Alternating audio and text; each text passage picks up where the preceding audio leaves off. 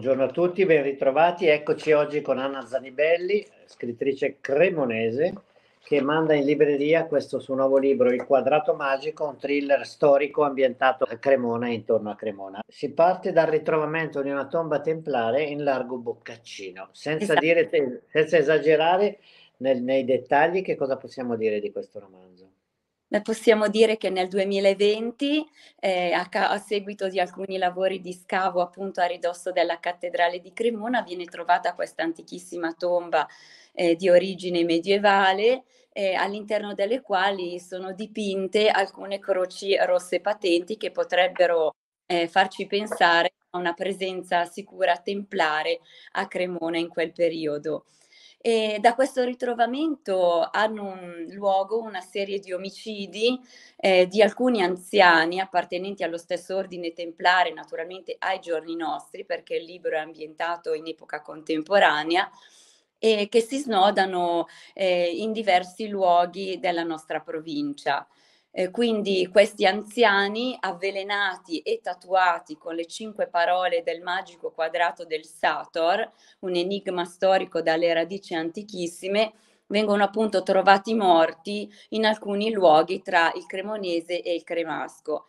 Eh, l'archeologa Ludovica Morenghi, che si è occupata degli scavi della tomba, e il poliziotto Cristoforo Beltrami cercheranno di fare luce sugli omicidi in una vera e propria corsa contro il tempo. Questo eh, libro è un'occasione per raccontare alcune bellezze di Cremona e dei dintorni, bellezze architettoniche, storiche intendo, e artistiche, oppure semplicemente l'ambientazione perfetta per un thriller storico? Ma sicuramente il nostro territorio si presta molto perché eh, nonostante sia una provincia piccola, ci sono diversi luoghi ricchi di storia, fascino, ma soprattutto di misteri sui quali viene davvero voglia di indagare ed è quello che ho fatto io, almeno ci ho provato, andando letteralmente e fisicamente da una parte all'altra della nostra provincia alla ricerca di informazioni preziose su una storia misteriosa e sotterranea che naturalmente ancora oggi ci coinvolge e ci appartiene. Eh, facciamo un piccolo tour allora.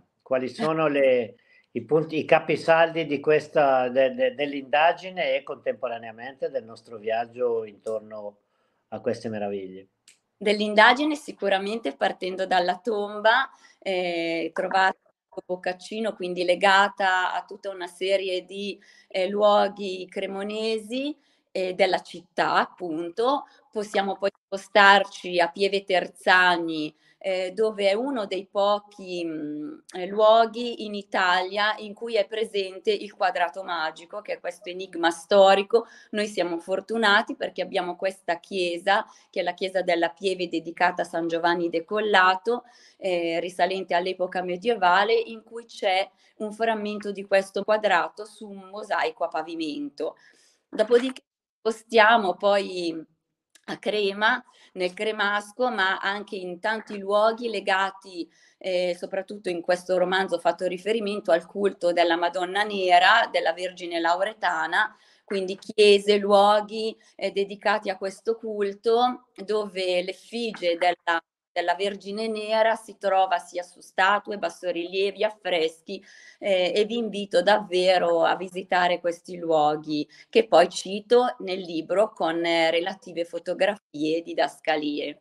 Ci sono altri 7-8 posti e chiese in cui si può andare, lo scopriranno i nostri lettori, tutte caratterizzate dalla presenza della Madonna Nera. La Madonna Nera esatto. perché?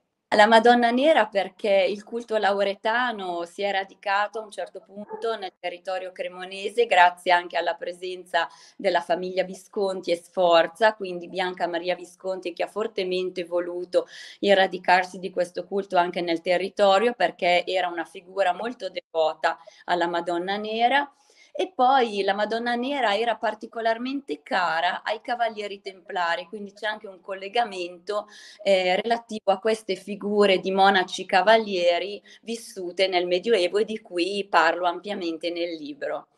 Ecco, è una presenza radicata e importante a Cremona quella dei Cavalieri Templari. Tu lo racconti nel tuo libro.